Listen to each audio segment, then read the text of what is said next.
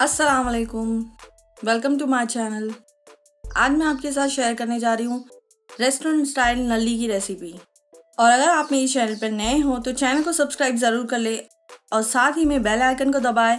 इससे मेरे हर नए आने वाले वीडियो की नोटिफिकेशन आपको ज़रूर मिलेंगे। तो चलिए शुरू करते हैं। इसके लिए ये डेढ़ किलो नली ली है मैंने। नली में थोड़ा गोश्त भी लगा है। इस तरह की नली आप ले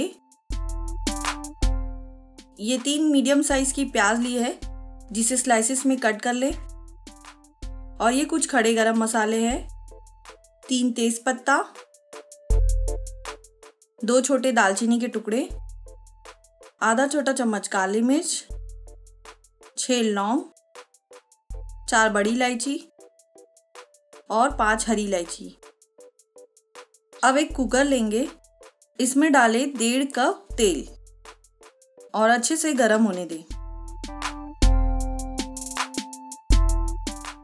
जब तेल गर्म हो जाए तो डालें ये खड़े गरम मसाले और थोड़ा चटकने दें। अब डालें ये प्याज।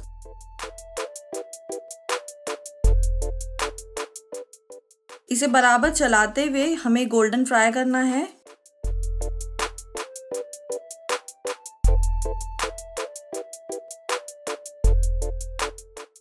ये देखिए, प्याज में ये लाइट गोल्डन सा कलर आ गया है। अब इसमें डालेंगे ये दो बड़े चम्मच लहसुन का पेस्ट और दो बड़े चम्मच अदरक का पेस्ट और अच्छे से चलाकर मिक्स कर लेंगे।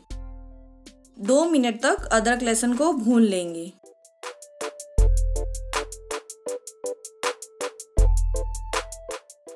अब डालें ये मटन।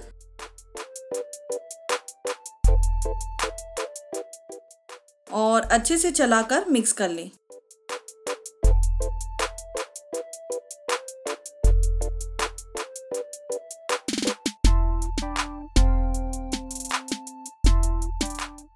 और अब इसे ढक्कन लगाकर पकने देंगे।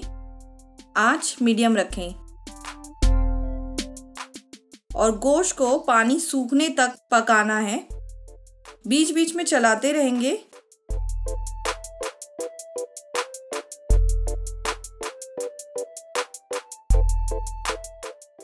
और ये देखें, गोश्त का पानी अब अच्छे से सूख गया है।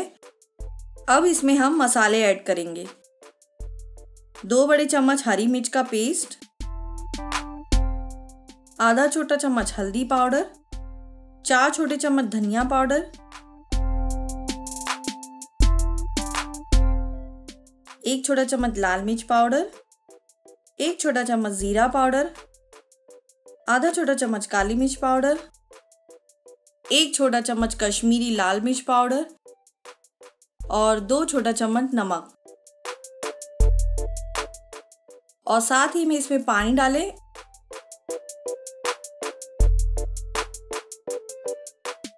और मिक्स कर लें। ये मैंने दो ग्लास पानी डाला है।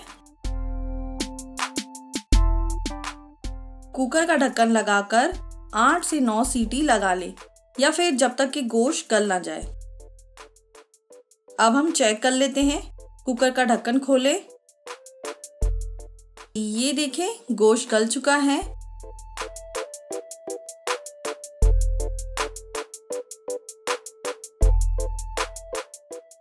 अब गैस की आँच तेज कर लें और गोश्त को अच्छी तरह मसालों के साथ भूनेंगे।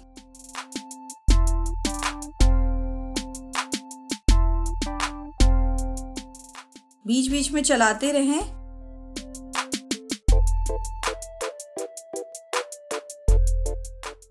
अब गोश्त मसालों के साथ अच्छे से भुन गया है। मसालों से भी तेल निकल चुका है। अब इसमें हम पानी डालें। ग्रेवी के हिसाब से पानी ऐड करें। यहाँ मैंने तीन ग्लास पानी ऐड किया है। और डालें एक छोटा चम्मच गरम मसाला पाउडर। और ये दो छोटे चम्मच कॉर्नफ्लावर है। इसमें थोड़ा पानी डालकर इसका घोल बना ले।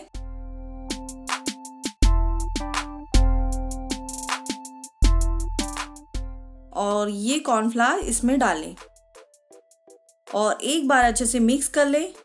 नमक वगैरह चेक कर लें। अगर कम ज़्यादा हो तो डालें अब ढक्कन लगाकर बॉईल आने दें।